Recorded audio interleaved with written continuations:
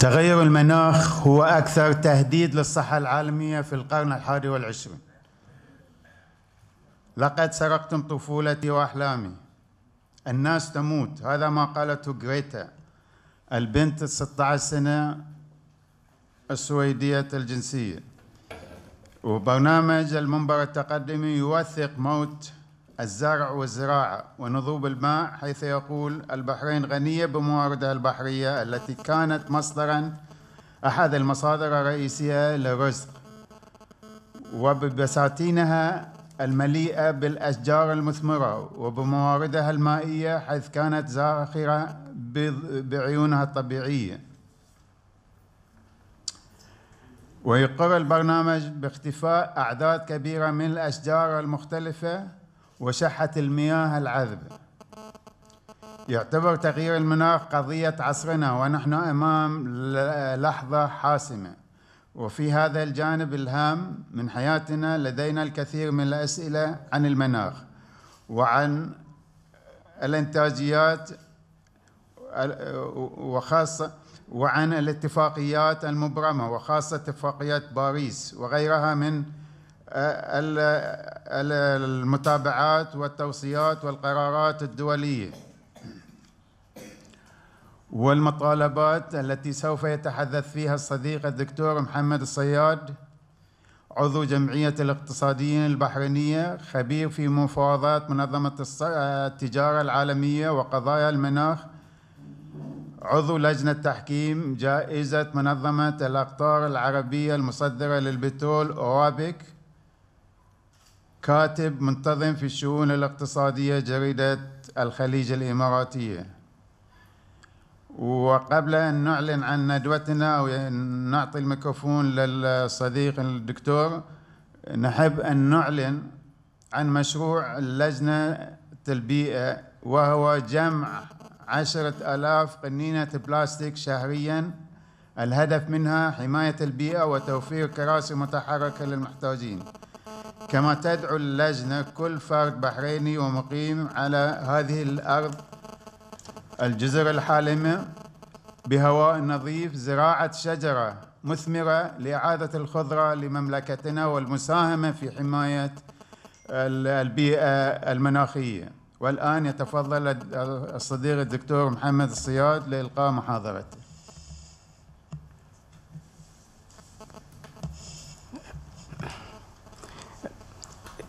شكرا دكتور. مساكم الله بالخير جميعا. واسمحوا لي في البداية أن أتوجه إلى الإخوة في مجلس إدارة جمعية المنبر التقدمي. Okay. Okay. إخوة في إدارة جمعية المنبر التقدمي على دعوتهم للتحدث في موضوع هو اليوم يعتبر يمكن أقول أنه هو يتصدر الأجندة العالمية. لم يكن موضوع تغير المناخ. عندما درسنا العلاقات الاقتصادية الدولية قبل تقريبا 30 35 سنة ما كان موضوع تغير المناخ جزء من مواضيع العلاقات الاقتصادية الدولية اللي هي التجارة الدولية وتصدير رأس المال وانتقال والانتقال الحر والمنظم للأيدي العاملة ونقل التكنولوجيز. اليوم موضوع تغير المناخ أصبح يتصدر الأجندة العالمية ولذلك تشاهدون هذه الفعاليات وهذه ال ال يمكن إذا متابعين يعني في الأيام هذه يعني اعتبارا من يوم الاثنين 23 سبتمبر القمة العالمية اللي يسمونها Climate Change Action Summit لاحظوا إن اكشن يعني متعمدين إن يعني يحطون كلمة اكشن لأن الأمين العام للأمم المتحدة باعتباره هو المسؤول عن تنفيذ الاتفاقية الإطارية المرجعية التي تحكم المفاوضات وتحكم العمل الدولي المتعلق بقضايا تغير المناخ. أراد أن يستثمر فرصة حضور ومشاركة الرؤساء الدول آه، ورؤساء الحكومات. التمثيل العالي المستوى المعتاد في اجتماع الجمعية العامة للأمم المتحدة السنوي الذي يعقد سنويا في نيويورك في مقر الأمم المتحدة في نيويورك في مثل هذا الوقت من كل عام.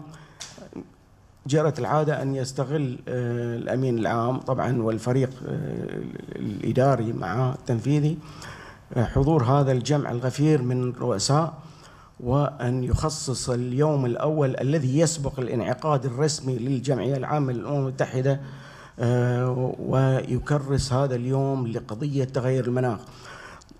ولاحظوا أن هذا هذا الانعقاد يسبق المؤتمر السنوي ل اللي هو يسمونه مؤتمر الأطراف Conference of Parties يعني يعقد سنويا في كل كل مرة يعقد في دولة. آه، المؤتمر القادم في شهر في شهر ديسمبر سيكون في تشيلي. فهذا المؤتمر هذه القمة التي عقدت في نيويورك هي متعمدة يعني أساس تسبق يعني يكونون الحاضرين جاهزين جاهزين بأنهم مطالبون بتقديم تنازلات كمية ونوعية في مجال الالتزام بالالتزامات اللي قدموها في اتفاق باريس. ويمكن آه، شفتوا المظاهرات الضخمة اللي خرجت في يمكن أكبر مظاهرات طلعت في إيطاليا يمكن في يمكن مليون متظاهر في ميلانو. يوم الجمعة كان في تقريبا نص مليون في كندا في مدينة في المدينة في كوبيك الفرنسية. وطبعا خطبت فيهم هذه البنت الصغيرة جريتا ثنبرغ يعني. وهذه البنت آه، أشعلت الأمم المتحدة بخطاب عاطفي جدا آه، وأصبحت أشهر من الرؤساء الحاضرين لأنها كانت جريئة. يعني أنا حضرت بعض المؤتمرات مال المؤتمرات الأطراف لكنني لم آه، يعني أرى يعني حتى كان مندوبين مندوبين الدول التي عرفت بمواقفها بمواقفها الجذرية مثل الوفد نيكاراغوا أو وفد بوليفيا أو وفد فنزويلا آه، وفود قوية جدا آه، محاورة ومستعدة من كل النواحي الإدارية والفنية والاقتصادية والقانونية. ولكن هذه البنت الصغيره يعني بخطاب آه، يعني ألهب مشاعر الحضور. في الجمعية العامة المتحدة أنا استمعت لها وكانت تخاطبهم بغضب هاو ديريو كيف تجرؤون أن لا تفعلوا شيئا أمام هذه الكارثة؟ طفلة ولكن يبدو أن هي مستوعبة مستوعبة حجم الأخطار التي آه، تحذر منها ما يسمى بالهيئة الحكومية International Panel on Climate Change. الهيئة الحكومية لتغير المناخ. هذه هذه الهيئة تأسست في 79 آه، يعني قبل إنشاء يعني حتى لو تكلمنا بشكل آه، آه، منهجي أساس يعني لتوضيح الصورة إن موضوع ال climate change حتى يكون اليوم يتصدر المشهد العالمي أو يتصدر الأجندة العالمية في المباحثات الاقتصادية وأسبق حتى من آه، مواضيع التي تناقش اليوم في منظمة التجارة العالمية في جنيف يعني في مقر المنظمة في جنيف. بدأ في 79 وبدأ في قمة في جنيف قمة ولكن ما كان اسمها Climate Change Action Summit كان اسمها World Climate Change Summit في 79 يعني سبقت يعني هي كانت نوع من التسخين للوصول إلى الاتفاقية الإطارية التي تحكم العمل التفاوضي المتعلق بتغير المناخ اليوم اللي هي اتفاقية الأمم المتحدة الإطارية لتغير المناخ United Nation Framework Convention on Climate Change التي وقعت في عام 1992 في ريو دي جانيرو في قمة الأرض. في 79 كانت القمة آه، أول قمة وطبعا وصلنا إلى القمة الأخيرة اللي هي تحدث عنها قبل شوي واللي خطبت فيها البنت هذه. البنت هذه يعني آه، يعني واضح إن هي مستوعبة الأخطار التي تحذر منها الهيئة الحكومية لتغير المناخ ال IPCC اللي هي بمثابة ال think tank أو خزان الأفكار الذي يعد التقارير والدراسات والأبحاث عن الأهوال المحدقة بالكوكب الأرضي نتيجة عملية التسخين المسؤول عنها الذي كما يقول خبراء ال IPCC المسؤول عنها النشاط البشري.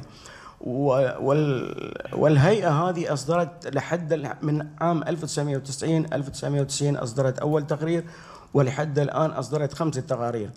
طبعا بالإضافة إلى اللوبي اللي مارست البنت والمظاهرات الضخمة طبعا هو اللوبي هذا كله موجه ضد الفوزل فيول الوقود الأحفوري اللي هو الفحم والنفط والغاز طبعا الفحم أكبر واحد اليوم متضرر لأن اتخذت خطوات عملية لعزلة ولت يعني وفي الولايات المتحدة طبعا تضرروا كثيرا محطات الطاقة والشركات العاملة في مجال ولكن من حسن حظهم إن ما نجحت هيلاري كلينتون اللي هي الموالية لل يعني كحزب ديمقراطي موالين ال concept مال ال climate change جاء ترامب الموالي لشركات النفط والغاز وألغى كل الضوابط والقيود اللي وضعها آه، باراك أوباما على التنقيب عن النفط في في المحميات الطبيعية وفي الأماكن في الأماكن السكنية. يعني إلى حد يعني وصل وصل وصل استهتار يعني إلى حد إن شركات إنتاج النفط الصخري الشيل اويل في كولورادو وصلت وصل أعمال الحفر إلى مناطق سكنيه وإلى مدارس وإلى يمكن أنا أشط شوي لأن كثير معلومات عندي. آه، ف آه، ما دام أنا أتكلم في الموضوع ذي في الولايات المتحدة يمكن تكون اليوم الولايات المتحدة التي كانت عراب اتفاق باريس. لتغير المناخ الذي وقع في باريس في ديسمبر 2015 بحضور الرئيس أوباما وبحضور آه، آه، وزير الخارجية، وزير الخارجية جون كيري كان هو موجود داخل قاعات المؤتمر يسهر إلى الليل الساعة 12 2 3 4 في الليل. و وكاد الاتفاق يفشل في آخر بعد مفاوضات استمرت أسبوعين إلى الساعة 4 ساعات في الليل. بسبب كلمة الوفد الأمريكي أصر على تغييرها في المادة الرابعة البند الرابع من المادة الرابعة في الاتفاقية تغيير كلمة آه، استبدال كلمة شال بكلمة شد يعني لأن آه، المادة هذه تتعلق بمسؤولية الدول المتقدمة الدول الرأسمالية المتقدمة المسؤولية عن هذا الحجم الكبير من الانبعاثات وتركيز الانبعاثات.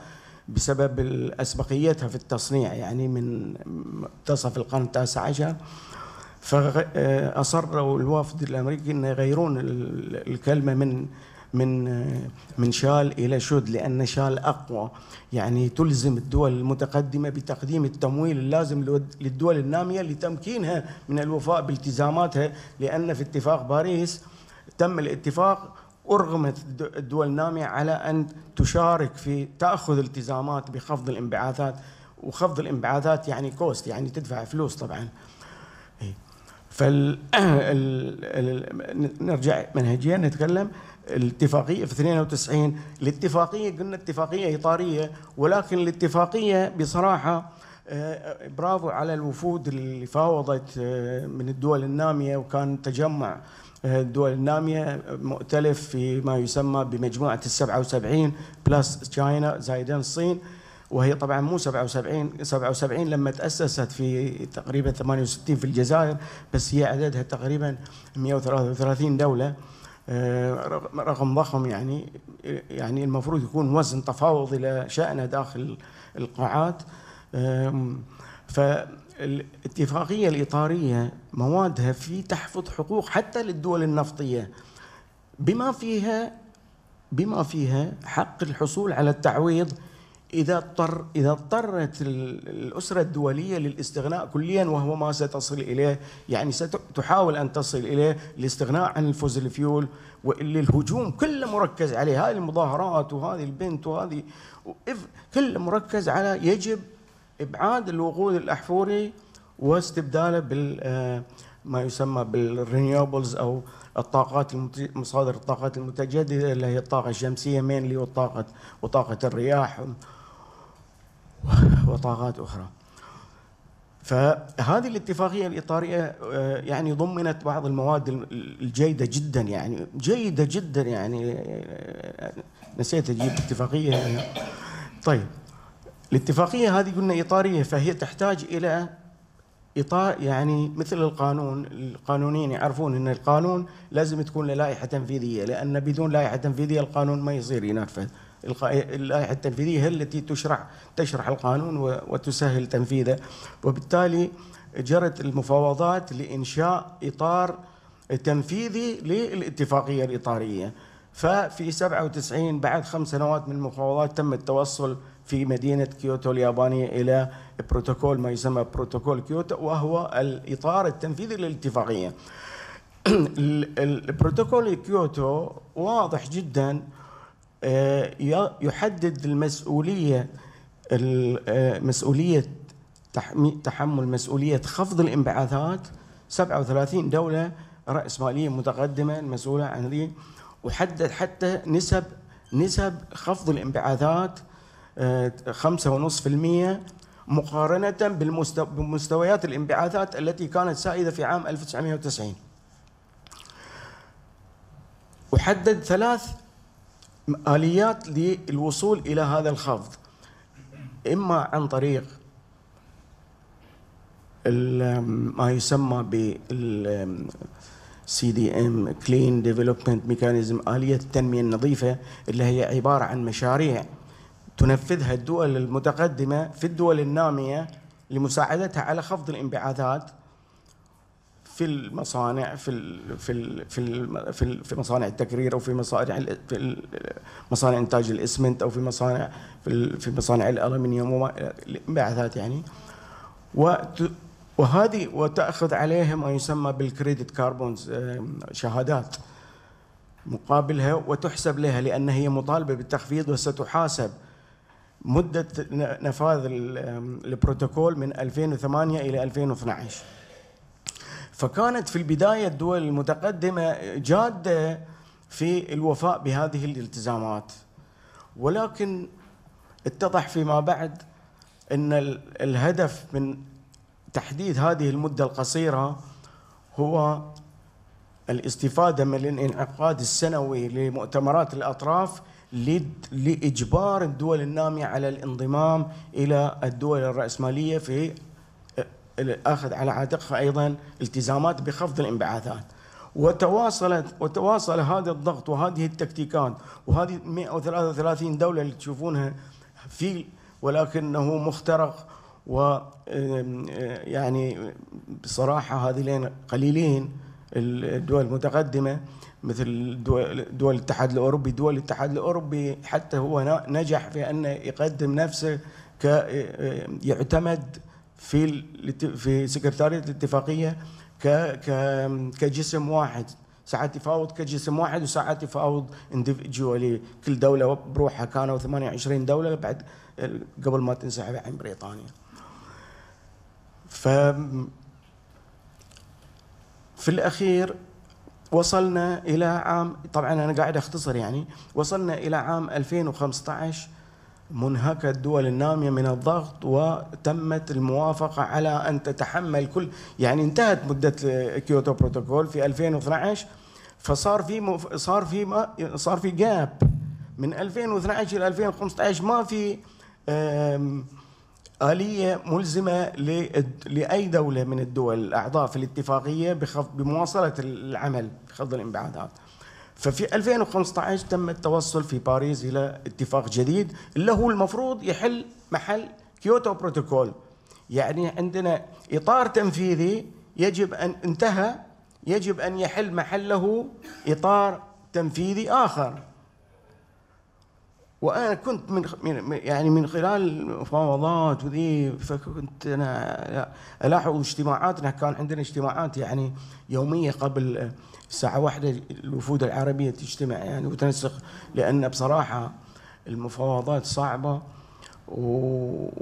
والدول ما عندها إمكانيات انه مثل ما عند الأمريكان مثل ما عند الأوروبيين مثل يعني يستطيعون التواجد في كل اللجان. في كل مسارات التفاوض الرسمية وغير الرسمية. ما يسمونها في في يعني سبين اوف يعني وسبين اوف وسبين اوف ففي وحتى الغرف ساعات ما في مجال ما في مجال ما تشيل الغرف يطلعون الناس يعني تصور. ف يعني في الأخير طبعا وصلنا إلى مرحلة الاتفاقية الملزمة للجميع بالتخفيض اللي هي طبعا في الأخير هي اتفاقية اقتصادية. يعني لما نتكلم عن ال climate change ليش أقول لكم أنه موضوع خطير؟ إحنا نتحدث عن قضية اقتصادية. والدول ما تبغي آه، تلتزم لأن ما تبغي تلزم نفسها بإنفاق أموال لخفض الانبعاثات. الدول النامية وافقت في باريس ولكن بشروط. يعني أنا شفت كثير من ال من ال ما يسمى بالالتزام حتى مو بالتزامات يعني سموها المساهمات الوطنية المحددة. nationally designated contributions. Contributions وليس commitments. في فرق بين ال commitments وال contribution commitments التزامات. ولذلك كل الدول تقريبا قدمت التزامات لأن مو ما في شيء يلزمها يعني لو دولة ما التزمت ما في عليها أي ذي. ولذلك هذا الغضب تشوفونه في الشارع من هذه البنت وهاو ديري وكيف تجرؤون وذي. لأن ما ما حد يعني حتى في القمة الأخيرة هذه اللي صارت ذي يعني أنجيلا ميركل قدمت التزام مالي يعني الالتزامات المطلوبة تقريبا حق آه، مكافحة مكافحة الظاهرة ذي آه، التزامات ضخمة جدا تقدر بيمكن أكثر من 11 تريليون دولار. وهذه مقدمة ميركل 3 مليار يعني pledges يسمونه تعهدات بالتمويل. وفرنسا الرئيس الفرنسي اللي هو يعني بلد يحمل اسم الاتفاقية باريس agreement يعني وهو يعتبر نفسه يقدم نفسه أنه يعني من المدافعين الشرسين عن اتفاق باريس على عكس ترامب يعني اللي انسحب من الاتفاقية.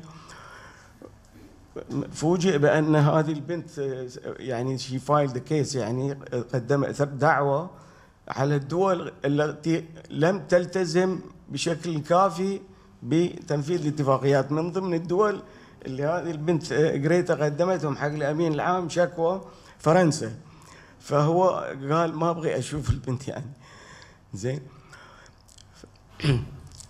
طبعا بالنسبة للدول بالنسبة للدول النفطية ال climate change موضوع موضوع حساس جدا جدا جدا. والدول النفطية يعني تستغربون انه يعني كيف تلتقي مصالح روسيا والولايات المتحدة ودول الخليج والسعوديه بس المصالح هي التي تجمع يعني يعني هذه كلهم منتجين للوقود الأحفوري والنفط.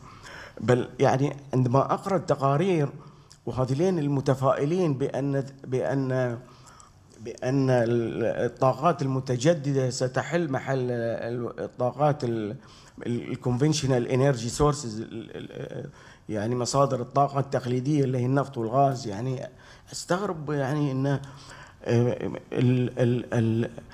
الكبار اللي هي هاجمتهم هذين how dare you عندهم استراتيجيات أنا أعتقد إن يعني ماشيين فيها. نتكلم عن روسيا.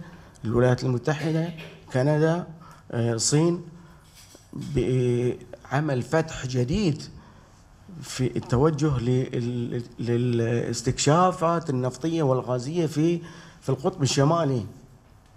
عمليات استكشاف ضخمة يعني وستزيد حصة النفط الحالية اللي هي تقريبا الآن تقريبا 38% من من ما يسمى بالمزيج الطاقة العالمي ستزيد بالتأكيد يعني لأن الاحتياطيات الموجودة في في في هذه المنطقة وهم وهم بالمناسبة ذي الدول ما يحبون ال climate change لا روسيا ولا السعودية ولا الولايات المتحدة.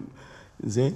رو- روسيا عندهم وجهة نظر بعد يعني. على فكرة روسيا توهم من آه، يعني موقعين ملت- آه، على اتفاقيه آه، باريس. رئيس الوزراء ميدفيديف بمناسبة انعقاد القمة أعلن إن روسيا وافقت على الاتفاقية اتفاقية باريس لأن في فرق بين الت- التوقيع على الاتفاقية وبين المصادقة عليها ال ratification فروسيا الآن آه، وروسيا على فكرة هي اللي كانت سبب في بدء سريان مفعول آه، كيوتو بروتوكول لأن الولايات المتحدة كأكبر نافث للانبعاثات في العالم ما رفضت آه، تنضم إلى كيوتو بروتوكول أي- أيام جورج بوش وحتى لما جاء إلى كيوتو آه، آل جور كان نائب رئيس آه، وهو نزل بشكل استعراضي هليكوبتر وهذه وتالي ات- اتضح إنه هو ما وقع على ما وقع على البروتوكول. وهو مسوي فيلم عن الأخطار اللي بتحدق بالكوكب الأرضي ولكن ما وقع على البروتوكول هذه آل جور والولايات المتحدة بعدين لم تلتزم بال لما شو اسمه بوش رفضت تنضم إلى كيوتو بروتوكول فانتظروا طبعا حتى يصير ساري المفعول لازم آه، تلتزم في آه، عدد من الدول تشكل انبعاثاتها مو أقل من 50% من الانبعاثات فلما انضمت روسيا إلى البروتوكول في 2004 أصبح بروتوكول كيوتو صار صار اليوم آه، روسيا لما التحقت باتفاق باريس أعطت مرة ثانية دفع جديد إلى ال- آه، إلى اتفاق باريس لتغير المناخ لأن روسيا من كبار ال ال يعني النافذين للانبعاثات في العالم. الروس بعد عندهم وجهة نظر باعتبارهم هم أيضا دولة آه، دولة نفطية يعني دولة مش منتجة مصدرة بعد للنفط. آه، يعني يقولون إن يعني ال- التقارير ال IPCC التقارير الهيئة الحكومية لتغير المناخ تهول من موضوع مثل ما يقول ترامب يعني تهول من موضوع تغير المناخ وإن يعني لو استعرضنا الأرقام سنجد إن حرق الغابات يؤدي إلى آه، نفث تقريبا 330 مليار طن متري من آه، غازات آه، ثاني أكسيد الكربون. الاحتراق المواد العضوية 220 مليار آه، طن متري. بينما هذا واحد في في صحيفة روسية كاتب واحد خبير بعد climate change يعني. طبعا من وجهة نظر روسية يعني. بينما والمحيطات أيضا تنفث انبعاثات ثاني أكسيد الكربون 330 مليار طن متري. بينما انبعاثات ال- الناتجه عن النشاط البشري لا تزيد عن أه، 8 مليار طن متري سنويا.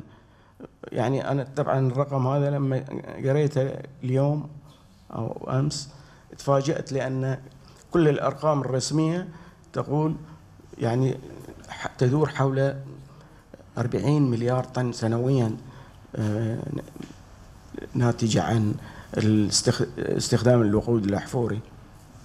هذا يقول ثمانية على كل هاي وجهة نظر روسيا وهي نفس وجهة نظر آه، الولايات المتحدة آه، ترامب تحديدا يعني ترامب يسخر من من آه، خبراء وعلماء يسخر منهم بشكل مرير يعني ويستخدم كلمات يعني وحتى يقول إن هذه ال- تغير المناخ هي عبارة عن دورات مناخية يعني لو استعرضنا التاريخ يعني سنجد إنها يعني تاريخ طويل وليس التاريخ آه، الولايات المتحدة طبعا واحدة من الدول التي الأكثر عرضة لمخاطر تغير المناخ. ولذلك الولايات المتحدة منشقة يعني مثل ما هي منشقة سياسيا هي منشقة أساسا اقتصاديا. يعني ولا يعني كمثال ولاية مثل ولاية تكساس نفطية متعصبة للجمهوريين لأن الجمهوريين آه، pro fossil fuel. يقابلها أكبر ولاية في الولايات المتحدة ولاية كاليفورنيا ولاية خضراء ديمقراطيين. وهي تتصدر المشهد المدافع عن اتفاق باريس لتغيير المناخ وستجد أن هناك تقريبا 15 أو أكثر من ولاية أمريكية مؤيدين 15 ولاية مو قليل تقريبا يشكلون تقريبا 40% آه، من السكان وتقريبا أكثر من 42% من اجمالي الناتج المحلي الأمريكي.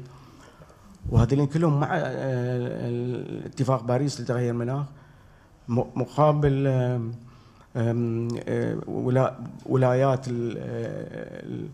مثل كاليفورنيا مثل تكساس كولورادو الولايات اللي يعني المنتجة للنفط آه، والغاز خاصة النفط والغاز الصخري يعني.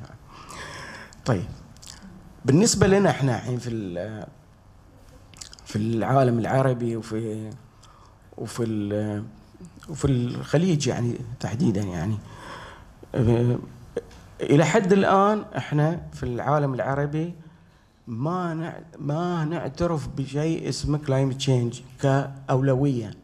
إلى حد اليوم السنة الماضية في نفس الفترة بالضبط في هذا الوقت. يعني أتذكر حتى اثنين اثنين آه، كنت مقدم الورقة تقريبا اثنين لأن أتذكر اليوم هذا نفس اليوم اللي صار فيه حادثة هذه خاشقجي يعني.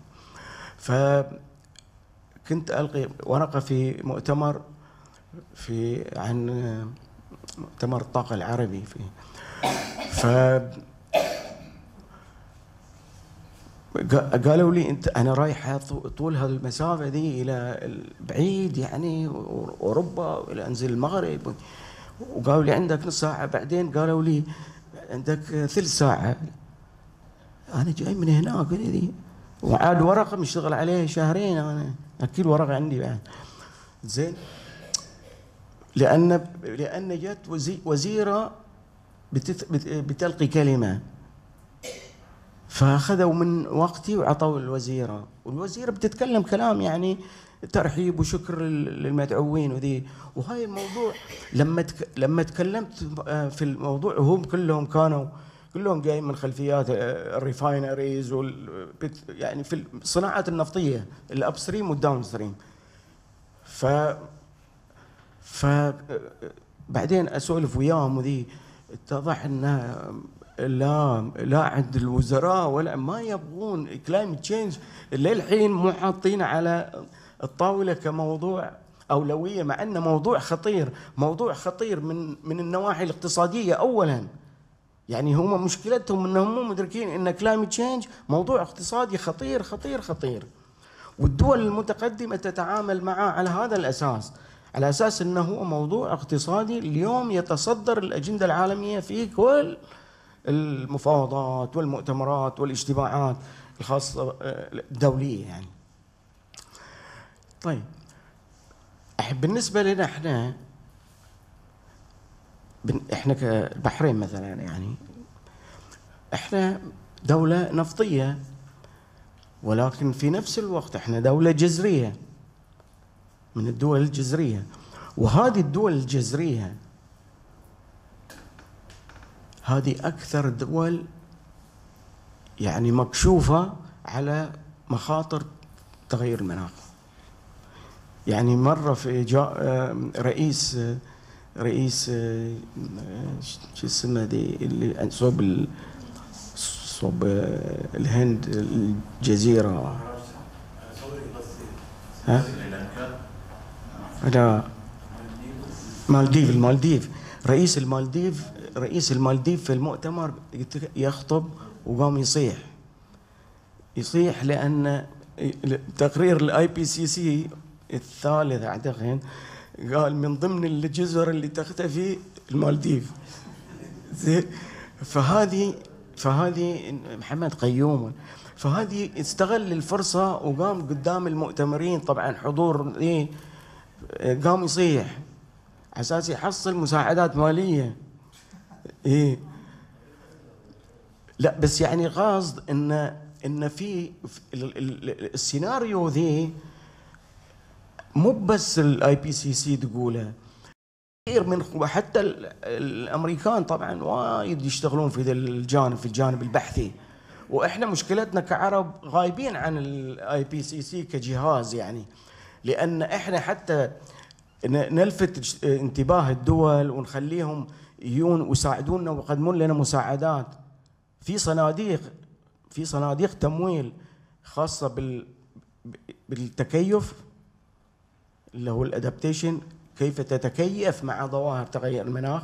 في صناديق ممكن تمولك ولكن يجب أن تثبت أنت لهذه الصناديق أن تقدم دراسات ها آه، إن أنت فعلا رايح تتأثر وإن رايح تتضرر. من آه، من ظاهره تغير المناخ. إحنا العرب يعني كجهاز آه، ضعيف ما عندنا إمكانيات. حتى مفاوضينا على يعني ما يعني يعني البرازيل وياي كان واحدة الطيارة جاية من ذي جاية من البرازيل. ما أدري كم ساعة أنا أنا من البحرين إلى هذه قلت مو بعيد. هذه جاية من البرازيل. كم وفدهم؟ 200 شخص. 200 إي والله. وإحنا آه يعني ما يعني ما نبغى نقول البحرين مسكينة بس يعني أكبر وفد ممكن يمكن سعودي لأن السعودية عندها إمكانيات. الدول الأفريقية والدول ذي مساكين فقار ما عندهم فلوس يمولون لأن السكن غالي وذي فهذه الدول الأوروبية يستغلون هذه فيدفعون مصاريف الوفود الأفريقية والدول الجزرية بالتحديد، الدول الجزرية أخطر أخطر أخطر اختراق لمجموعة ال 77 زائدا الصين هي الدول الجزرية. اللي هو تحالف يضم تقريبا 44 آه، دولة. 31 دولة من الكاريبي ومن آه، افريقيا ومن ذي وتصوروا إحنا البحرين يرفضون ياخذوننا وياهم. لأن يعتبروننا إن إحنا دولة نفطية. إحنا مصالحنا ويا السعودية ويا أمريكا ويا روسيا ويا الدول النفطية. مع إن إحنا دولة جزرية فإحنا الحين إحنا يعني يعني كيف نموضع كيف كي يعني هل عندنا استراتيجية كيف نموضع نفسنا؟ مصالحنا وين إحنا؟ مصلحتنا وين؟ أعتقد إن أنا أوقف وإذا في عندكم شيء تفضلوا. مشكورين.